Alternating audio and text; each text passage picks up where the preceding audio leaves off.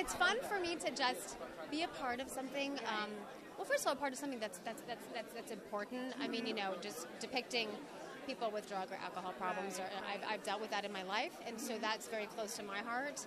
And and just to, to be a part of this this amazing sort of celebration of people Yeah, and, and and something that's outside of daytime so it's a different Mm-hmm. venue for me Right. so um, i'm really honored to be here and, and excited and, and excited to meet people and and just and present and, and i'm presenting um, comedy series that's Great. Yeah, cool. I don't even know why they chose me for comedy. I mean, for God's sakes, all I do is cry about, you know, something on the show. But but I'm so happy that I'm presenting comedy. I'm presenting with um, Joshua Malina, Oh, who's hilarious. Yeah, and he's on Scandal right now. I haven't seen it, but but I've heard. Is it good? So I, I'm in good company with him for sure. And and that's it. I'm just I'm just you know kind of giddy and excited. I've never been here before either, and it's beautiful. Yeah, it's a really nice hotel. So so I'm kind of happy to be a part of all of this. And nice to see a familiar face. Yeah, I know, huh?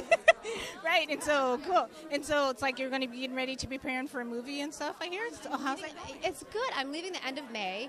Um, it's called Desires of the Heart. It shoots in Savannah, Georgia, and I'm working on my Southern accent.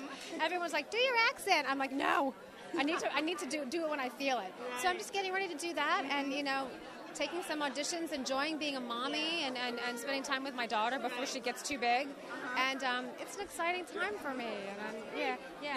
Like when you like wind down, say maybe the baby's asleep, everything's going on. What kind of music do you like to listen to, or how do you like to relax the most? Okay, uh, music for me, you're gonna laugh. I I actually like Guns N' Roses.